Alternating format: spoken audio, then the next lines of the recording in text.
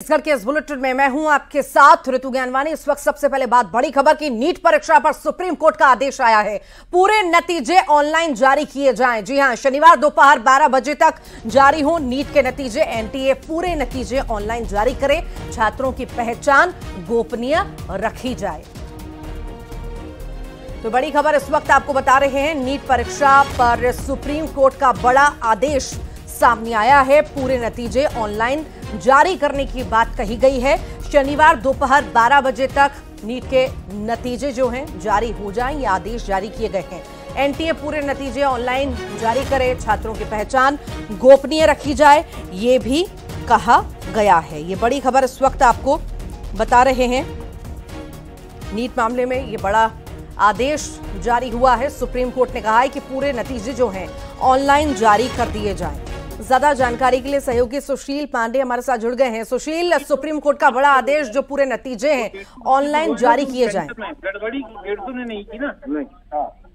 जी देखिए साफ़ तौर से इस पूरे मामले में सुप्रीम कोर्ट में अहम सुनवाई हुई और इस पूरे मामले में सुनवाई के दौरान सुप्रीम कोर्ट ने केंद्र सरकार से कई तीखे सवाल किए। सुप्रीम कोर्ट ने पहला सवाल यह किया कि जो पेपर लीक की बातें याचिकाकर्ता के द्वारा की जा रही हैं, वो कब हुआ? एसजी के द्वारा यह कहा गया कि जो उन्हें जानकारी मिली है जाँच में, उस जाँच के मुताबिक जो ब्रीच हुआ है लीक का शब्द एसजी के द्वारा नहीं प्रयोग किया गया। उन्होंने कहा, जो ब्रीच हुआ है, वो सुबह आठ बजे से लेकर नौ बज के तेईस मिनट के बीच में हुआ है जो इनको जानकारी दी गई है। और दूसरा सवाल सुप्रीम कोर्ट ने किया कि जो प्रश्न पत्र दूसरे सेंटर पर पहुँचाने का काम किया गया उसके लिए एनटीए ने प्राइवेट कोरियर क्यों किए जब इस पूरी परीक्षा में 400 करोड़ रुपए उन्हें मिले थे? हालाँकि सुप्रीम कोर्ट ने यह भी सवाल किया है केंद्र सरकार और एनटीए से कि बिहार पुलिस के द्वारा इस पूरे मामले में जो इन्वेस्टिगेशन की गई उसकी भी एक स्टेटस रिपोर्ट दाखिल की जाए क्योंकि बार बार एनटीए और केंद्र सरकार की तरफ़ से कहा जा रहा है कि इस मामले में पेपर लीक की संभावना नहीं है लेकिन सुप्रीम कोर्ट ने हैरानी ये जताई कि अगर आठ बजे से लेकर नौ बजकर तेईस मिनट के बीच में पेपर लीक हुआ है और अगर दस बजे से फ़िलहाल फ़िलहाल परीक्षा बहुत शुक्रिया। गढ़चिरौली मुठभेड़ के बाद घटना स्थल का वीडियो सामने आया। नक्सली मुठभेड़ के बाद ग्राउंड ज़ीरो का वीडियो आया है। मौके पर अब भी मौजूद है। नक्सलियों का सामान बता दें, छत्तीसगढ़ महाराष्ट्र बॉर्डर पर कल मुठभेड़ हुई थी। सुरक्षा बलों ने 12 नक्सलियों को ढेर किया था। और अब ये वीडियो सामने आया है। ग्राउंड ज़ीरो का ये एक्सक्लूसिव वीडियो इस वक्त आप देख रहे हैं। इस जगह पर जवानों ने 12 नक्सली मार गिराए थे और कई सारा सामान यहाँ पर आप देख रहे हैं। नक्सली सामान बरामद किया गया है। 12 नक्सली यहाँ पर ढेर हुए थे। कल मुठभेड़ हुई थी। 12 नक्सलियों को मार गिराया गया था और उसके बाद ये तस्वीरें आप देख रहे हैं कि वहाँ पर आखिर कैसी स्थिति है और बड़ी मात्रा में जो सामान है नक्सलियों का, वो भी यहाँ से बरामद किया गया है।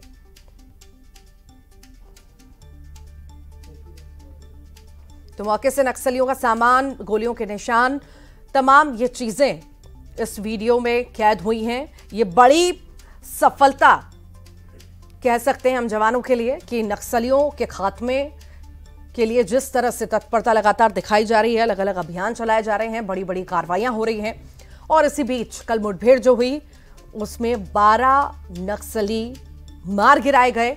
ये बड़ी सफलता जवानों के लिए है। नक्सलवाद को पूरी तरह से खत्म करना है। जिस तरह से नक्सलवाद छत्तीसगढ़ में लगातार बढ़ता दिखाई दिया कुछ समय पहले तक और उसके बाद जवान सतर्क हुए, सरकार सतर्क हुई और अभियान अलग अलग तरह के चलाए गए अलग अलग जगह कैंप लगाए गए जवानों के द्वारा कि नक्सलवाद को कैसे न कैसे करके खत्म करना है।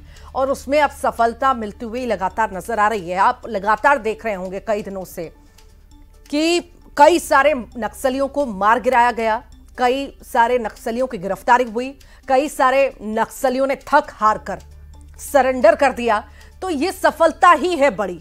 नक्सलवाद के खात्मे पर जो ज़ोर सरकार की ओर से दिया जा रहा है, जवानों की ओर से दिया जा रहा है, उसमें कहीं ना कहीं सफलता मिल रही है।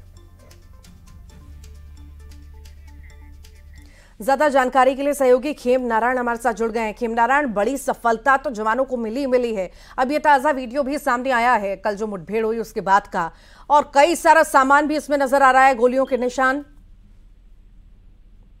हाँ जी देखिए मुठभेड़ के बाद जो है जब नक्सली अपना जो डेरा या कैंप बनाकर रखते हैं जो सुरक्षा बल के जवानों से छुप कर जिस स्थल पर रहते हैं वहाँ मुठभेड़ के छुप कर रहते हैं और जो है अपने साथ जो है दैनिक उपयोग के सामान हथियार और जो है विस्फोटक सामग्रियाँ ये सब जो है रखे रखते हैं और एनकाउंटर कल जब हुआ था उसके बाद जो है आज की आज आज जो है मुठभेड़ के बाद जो वहाँ से तस्वीरें निकलकर सामने आई हैं उसमें बहुत से दवाइयाँ और जो है नक्सलियों के कपड़े हाँ। और दैनिक सामान जो थे वो सब वहाँ से अभी भी जो है वहाँ पर मौजूद है और कुछ दवाइयों को जो है जवानों ने वहाँ पर घटना स्थल पर ही जला दिया है। जी।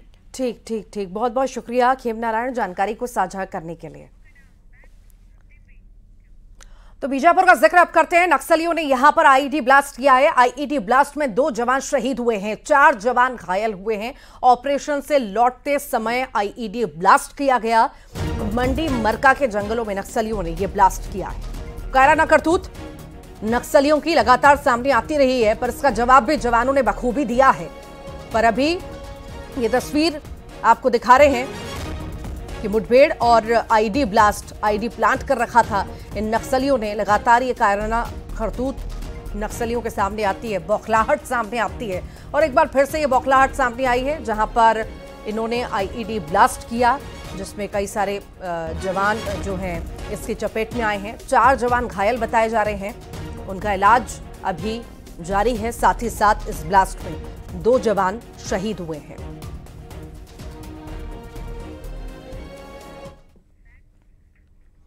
बीजापुर में शहीद हुए जवानों को जगदलपुर में गार्ड ऑफ़ ऑनर दिया गया। बस्तर सांसद कलेक्टर महापौर चित्रकूट विधायक समेत पुलिस विभाग के अधिकारियों ने जवानों को श्रद्धांजलि दी। बता दें, बीजापुर में आईईडी ब्लास्ट में दो जवान शहीद हुए। आईईडी ब्लास्ट में चार जवान घायल हो गए। गार्ड ऑफ़ ऑनर के बाद शहीद जवानों के पार्थिव शरीर को उनके गृहग्राम भेजा गया।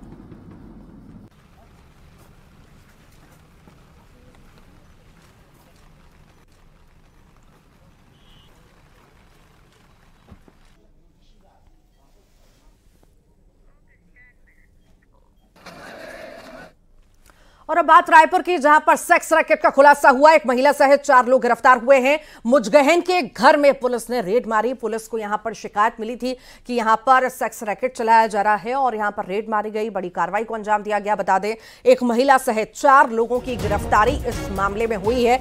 अब इनसे पूछताछ भी जारी है कि कब से यहाँ पर इनकी सक्रियता थी, कब से ये रैकेट इनके द्वारा चलाया जा रहा था कौन कौन इसमें शामिल हैं, ये लोग कहाँ के रहने वाले हैं, ये तमाम वो पहलू हैं जाँच के, जिन पर जाँच पड़ताल अब चल रही है, साथ ही साथ जिनकी गिरफ्तारी हुई है, उनसे पूछताछ भी जारी है। तो ये आपको बता दें, मुजगहन के एक घर में सेक्स रैकेट चलाया जा रहा था, जहाँ पर पुलिस ने रेड मारी और आपको बता दें कि इस बारे में शिकायत लोगों के द्वारा पुलिस को की गई थी। जिसके बाद पुलिस ने एक्शन लिया। मुजगहन के घर में रेड मारी और इनकी गिरफ्तारी की गई। एक महिला भी इसमें बताई जा रही है शामिल।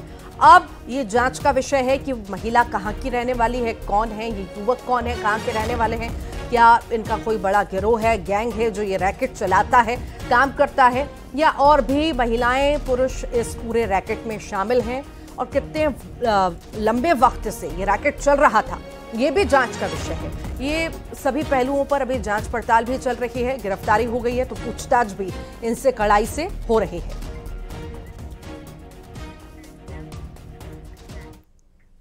कोंडागांव में न्यूज़ एटीन की खबर का असर हुआ है। रिश्वतखोर बाबू को कलेक्टर ने सस्पेंड कर दिया है। घूस लेते वीडियो सामने आया था। बता दें, फरगांव तहसील कार्यालय में आरोपी तैनात है। अधिकार अभिलेख निकालने के लिए घूस इसके द्वारा मांगी गई थी। और रंगे हाथों, आपको बताएँ इसकी गिरफ्तारी हुई है। जब ये घूस ले रहा था, तब का ये वीडियो जो है, ये सामने आया और इसी वीडियो के आधार पर कार्रवाई को अंजाम दिया गया। न्यूज़ 18 ने प्रमुखता से ये खबर दिखाई थी, ये तस्वीरें दिखाई थी, जिसके बाद संज्ञान लिया गया इस पूरे खबर का और उसके बाद एक्शन लिया गया।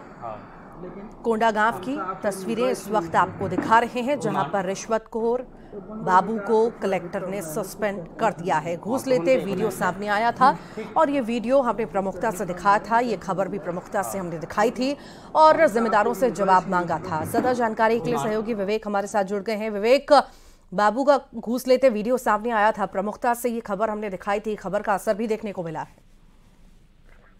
जी हाँ देखिए, जिस तरीके से वो अधि- अधिकार भूले, अभिलेख जो होता है दस्तावेज़ होता है, ग्रामीणों के लिए काफ़ी अहमियत रखता है और उस उस दस्तावेज़ को निकालने के लिए वो ग्रामीण से दो हज़ार रुपए की रिश्वत ले रहा था और साथ में ये भी कह रहा था कि साहब लोगों का दबाव रहता है, इसलिए मैं पैसा माँगता हूँ। तो साहब लोग, रिश्वत खुद लेता था, लेकिन साहब लोग, अधिकारियों के ऊपर आरोप लगा रहा था और जैसी खबर दिखाई गई कलेक्टर कुणाल दुतावत ने इसमें तुरंत एक्शन लेते हुए इसकी जाँच करवाई और तहसीलदार से प्रतिवेदन लेकर वीडियो की पुष्टि करते हुए सहायक ग्रेड दो जो बाबू है रिश्वत लेते हुए पकड़ाया था, उसे निलंबित कर दिया है।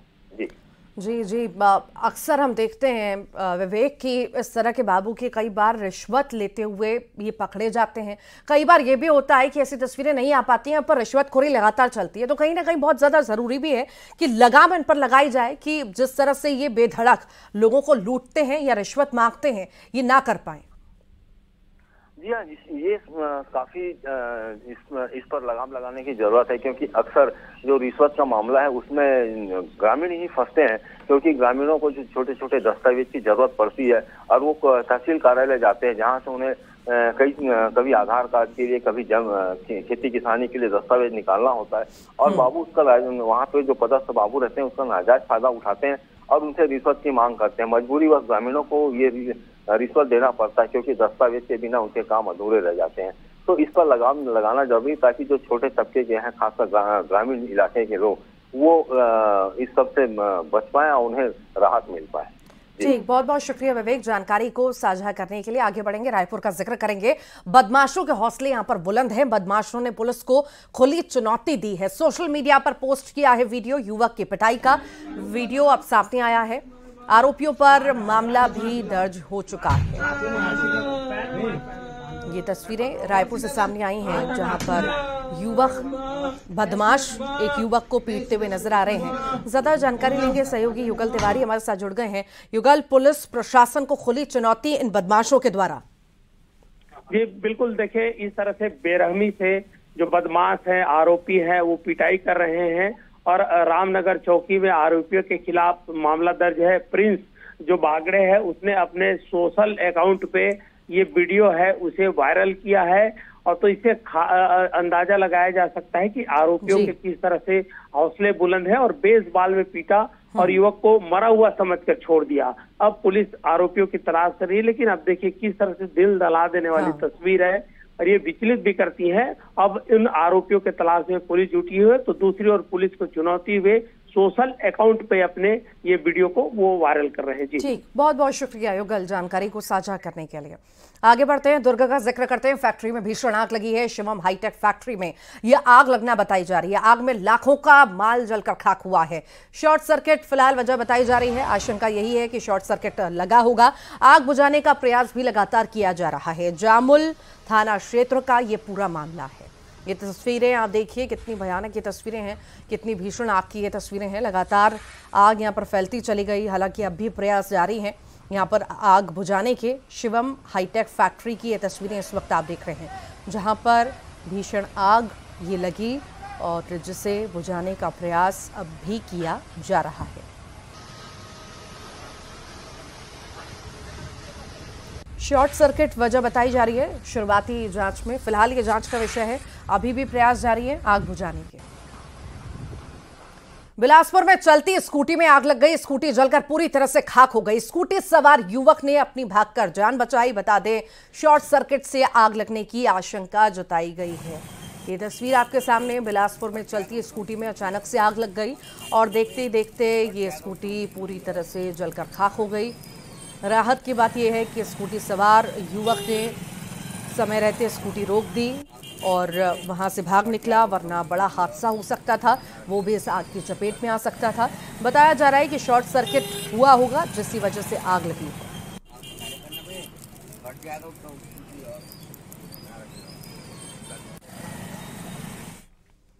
बलौदाबाजार मामले की जाँच अब तेज हो चुकी है। बता दें, न्यायिक जाँच आयोग के अध्यक्ष गिरौतपुरी पहुँचे। गिरौतपुरी के अमर गुफा पहुँचे हैं सीबी वाजपेयी जैतखाम तोड़फोड़ के मामले में।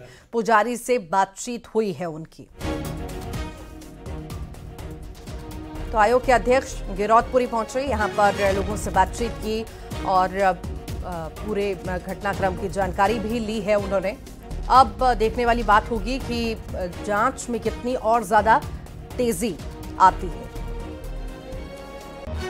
तो बलौदा बाज़ार हिंसा पूरे मामले में लगातार जाँच पड़ताल चल रही है। ज़्यादा जानकारी लेंगे, योगेश हमारे साथ जुड़ गए हैं। योगेश बलौदा बाज़ार मामले में लगातार जाँच पड़ताल तेज चल रही है, पर अब लग रहा है कि अध्यक्ष पहुँचे हैं आयोग के, जाँच आयोग के तो अब और ज़्यादा तेज हो जाएगी जाँच।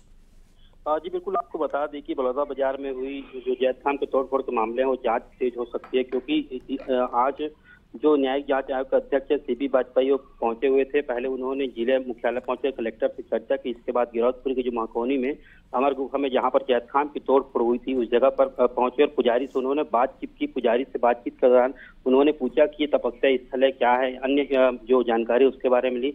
उसके बाद वे जैद खान की पहुँचे, कई ग्रामीणों से उन्होंने बातचीत भी की और उनका साफ़ तौर पर कहना है कि पहले पक्षकारों को सुनवाई का मौका दिया जाएगा उसके बाद जो पक्षकार हैं वो अपने अपने जो साक्ष्य है दस्तावेज़ उनको रखेंगे फिर उनके जो बयान आएँगे उन उन, उन बयानों के आधार पर आगे जाँच होगा ये प्रतिवेदन जो है वो तैयार होगा और हालाँकि प्रारंभिक जाँच है इसलिए प्रारंभिक जाँच के तौर पर आएँगे इसके बाद जो पूरी रिपोर्ट हम्म। यहाँ से जाएगी उसके बाद एक बार और फिर से दौरा होगा और इसके बाद जल्द से जल्द ये पूरा करने का प्रयास करेंगे।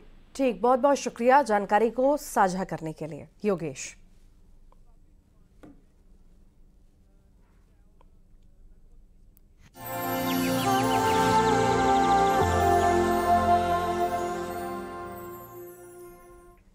वन पर्यावरण और जलवायु परिवर्तन राज्य मंत्री संजय शर्मा ने प्रोजेक्ट वन ट्री मुहिम के लिए न्यूज़ एटीन को बधाई दी। उन्होंने कहा कि जिस तरह से पेड़ काटे गए और प्रकृति को नुकसान पहुँचाया गया, पौधे लगाकर इस नुकसान को कम किया जा सकता है।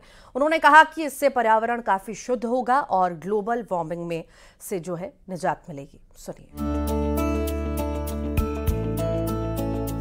मेरा ये मानना है कि जिस प्रकार से पेड़ों को कटाई हुई है अवैध माने या कटाई हुई है प्रकृति के साथ छेड़छाड़ करने का काम हम लोगों ने जो किया है, उस छेड़छाड़ को खत्म करने का काम पौधा लगा के हम कर सकते हैं और प्रकृति को पुनः प्रकृति के रूप में लाने का काम यदि हम लोग करेंगे तो निश्चित रूप से पर्यावरण में शुद्धि आएँगी। और जो गर्मी के ग्रस्त को हमने झेला टेम्परेचर जो हमारा बढ़ा, उससे हमको निजात मिलेगा। न्यूज़ 18 ने जो मुहिम ली है पौधा लगाने की और विशेष रूप से हमारे देश के यशस्वी प्रधानमंत्री महोदय ने आह्वान किया देश की जनता से। एक पौधा अपनी माँ के नाम ज़रूर लगाए। और आइए